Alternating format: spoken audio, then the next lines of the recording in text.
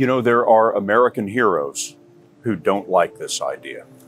Neil Uh, Armstrong, Gene Cernan have both testified against commercial spaceflight in the way that you're developing it, and I wonder what you think of that. I was very sad to see that um, because those guys are, yeah. You know, th- those guys are heroes of mine, so it's really tough. You know, I, I wish they would come and visit and, and see the hardware that we're doing here. And, and I think that would change their mind. They inspired you to do this, didn't they? Yes. And to see them casting stones in your direction.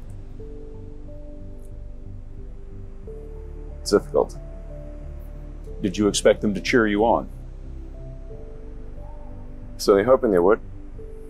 What are you trying to prove to them? What I'm trying to do is, is to make a, a significant difference in in spaceflight and, and, and help make spaceflight accessible to, to almost anyone. One of the most difficult choices I ever faced uh, in life was was in 2008, um, and um, I think I had uh, like a, maybe 30 million dollars left, or 30 or 40 million dollars left in 2008. And I had two choices.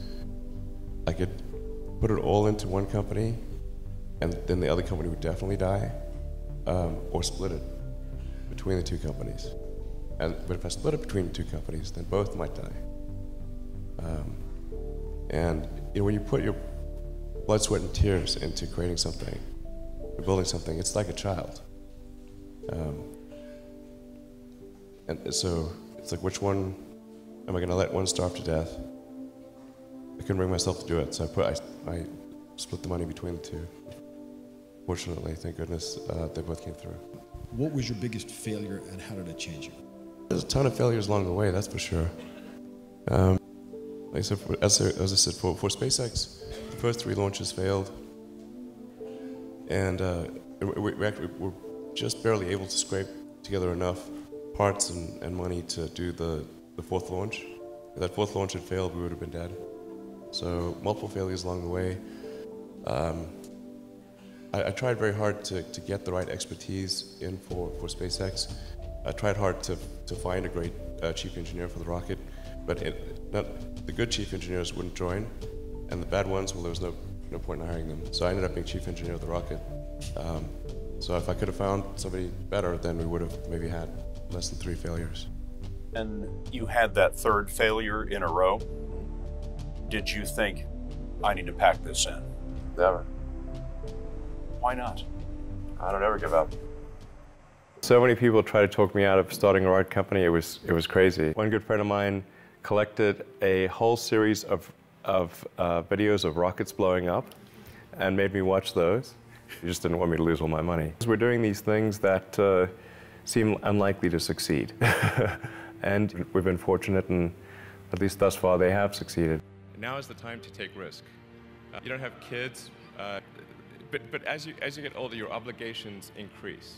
So you, the, and once you have a family, you start taking risk not just for yourself, but for your family as well. It gets much harder to uh, do things that might not work out. Um, so now is the time to do that.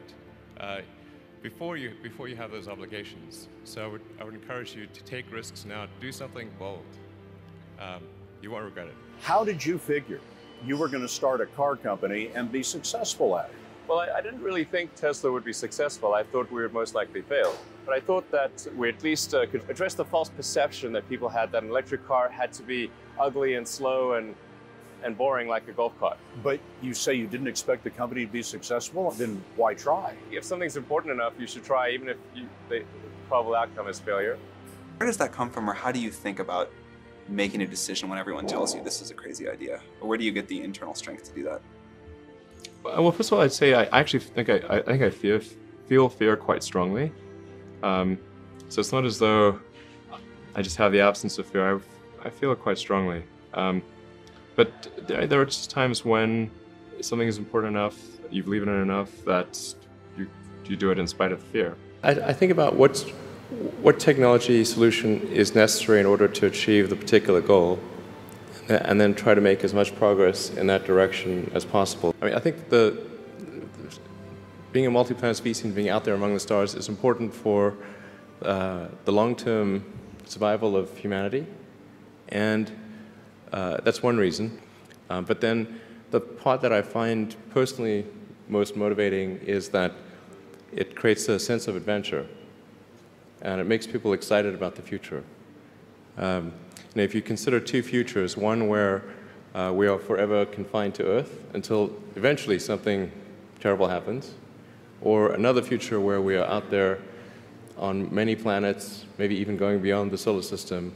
Um, I think that second version is incredibly exciting and inspiring, and there need to be reasons to get up in the morning. You know, life can't just be about solving problems. Otherwise, what's the point? There's got to be things that people find inspiring uh, and make life worth living. When my brother and I were starting our first company, uh, in, instead of getting an apartment, we just rented a, a small office and we slept on the couch. Uh, and we, we showered at the, the YMCA. And uh, we're, we're so hot up, we had just one computer. So the, the, the website was up during the day, uh, and I was coding at night. Seven days a week, all the time. Um, and I, I uh, sort of briefly had a girlfriend in that period, and in order to be with me, she had to sleep in the office. So uh, work hard, like, it, it, I mean, every waking hour. That's that's the, the thing I would I would say if, if you particularly if you're starting a company.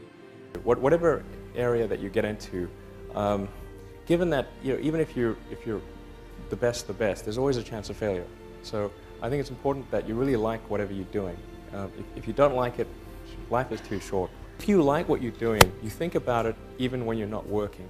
I mean, it'll just it, it's it's something that your mind is drawn to, um, and and if you don't like it, you just really can't make it work, I think.